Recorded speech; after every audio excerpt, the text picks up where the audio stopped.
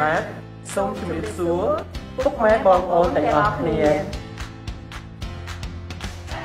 ពុកម៉ែបងប្អូនទាំងនេះធ្លាប់ឆ្ងល់ដែរឬទេថាគុករបស់ទាំងអស់តើកើតមកដោយឯងឯងឬមានអ្នកបង្កើតដូចជាកាយផ្ទៃមេឃដើមឈើសមុទ្រសត្វនិងមនុស្សតើទាំងអស់នោះមកពីណា តើពុកម៉ែបងប្អូនមានឆ្ងល់ទៀតដែរឬទេថាហេតុអ្វីបានជាមានការឈឺចាប់ហេតុអ្វីបានជាមានទុក្ខលំបាកហេតុអ្វីបានជាមានការខ្វល់ខ្វាយហេតុអ្វីបានជាមានជំងឺចុះតើហេតុអ្វីបានជាបញ្ហាទាំងអស់ហ្នឹងមាននៅលើផែនដីបាទពុកម៉ែបងប្អូនពិតជាចង់ដឹងចម្លើយគ្រប់របស់ទាំងអស់មិនមែនកើតមកឲ្យឯងឯងនោះទេពិតជាមានអ្នកបង្កើត នោះគឺព្រះអង្គម្ចាស់ព្រះយេស៊ូវគ្រីស្ទទ្រង់បង្កើតគ្រប់របស់ទាំងអស់ហើយអ្វីដែលពិសេសព្រះអង្គបានបង្កើតមនុស្សព្រោះព្រះអង្គចង់មានទំនាក់ទំនងល្អជាមួយនឹងមនុស្សចង់ឲ្យមនុស្សបានសរសើរដំកើងទ្រង់ថ្វាយបង្គំព្រះអង្គដូច្នេះហើយព្រះអង្គស្រឡាញ់មនុស្សខ្លាំងណាស់ចាព្រះអង្គបានបង្កើតមនុស្សព្រះអង្គស្រឡាញ់មនុស្សខ្លាំងណាស់ ប៉ុន្តែមនុស្សយើងបានធ្វើអំពើបាប ហើយអំពើបាបទាំងនោះ គឺជាអ្វីដែលយើងគិតអ្វីដែលយើងនិយាយអ្វីដែលយើងប្រព្រឹត្តដែលខុសពីបំណងព្រះហឫទ័យរបស់ព្រះហើយអំពើបាបគឺជាការគិតខុសនិយាយខុសនិងប្រព្រឹត្តខុសហើយអំពើបាបនោះឯងមានទណ្ឌកម្មពិត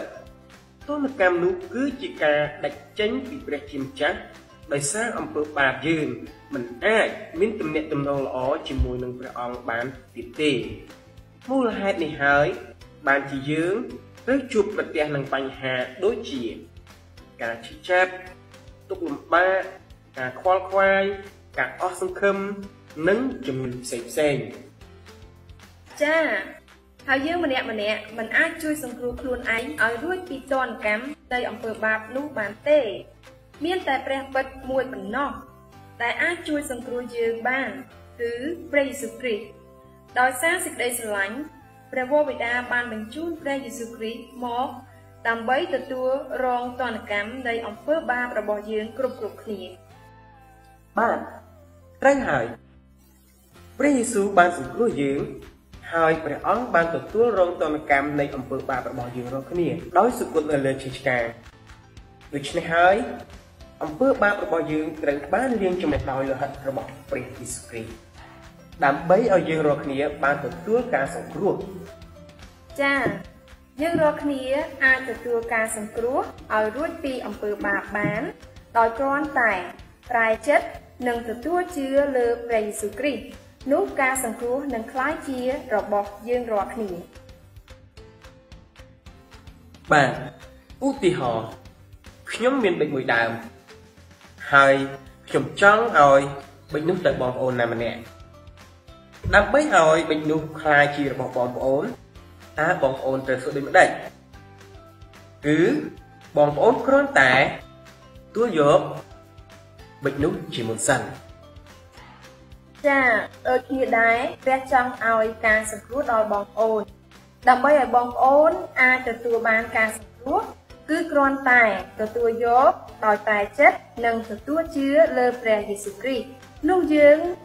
អាចត្រឡប់មកមានទំនាក់ទំនងល្អជាមួយព្រះជាម្ចាស់វិញឯការប្រែចិត្តប្រៀបដូចជា យើងកំពុងតែដើរលើផ្លូវមួយដែលខុសហើយគឺយើងត្រូវតែឈប់ហើយត្រឡប់មកផ្លូវដែលត្រឹមត្រូវវិញគឺដើរតាមព្រះយេស៊ូវគ្រីស្ទបាទការទទួលយក គឺគ្រាន់តែយើងជឿថាព្រះយេស៊ូវជាអ្នកបង្កើតមនុស្សមនុស្សបានធ្វើអំពើបាបអំពើបាបមានទណ្ឌកម្មហើយទណ្ឌកម្មទួលរងដោយព្រះយេស៊ូវគ្រីស្ទព្រះយេស៊ូវបានសង្គ្រោះយើងដើម្បីទទួលបានការសង្គ្រោះនោះគ្រាន់តែប្រែចិត្តនិងទទួលជឿលើព្រះយេស៊ូវ ចាចុះពុកម៉ែបងប្អូនយល់យ៉ាងម៉េចដែរពីដំណឹងល្អមួយនេះតើពុកម៉ែបងប្អូនចង់រួចផុតពីអំពើបាបហើយទទួលការសង្គ្រោះពីព្រះយេស៊ូវដែរឬទេ បាទខ្ញុំក៏សូមលើកទឹកចិត្តពុកម៉ែបងប្អូនឲ្យផ្លាស់ប្រែចិត្តហើយទទួលជឿព្រះយេស៊ូវគ្រីស្ទនៅថ្ងៃនេះចុះចាបាទសូមអរគុណសូមជម្រាបលាសូមព្រះអង្គប្រទានពរ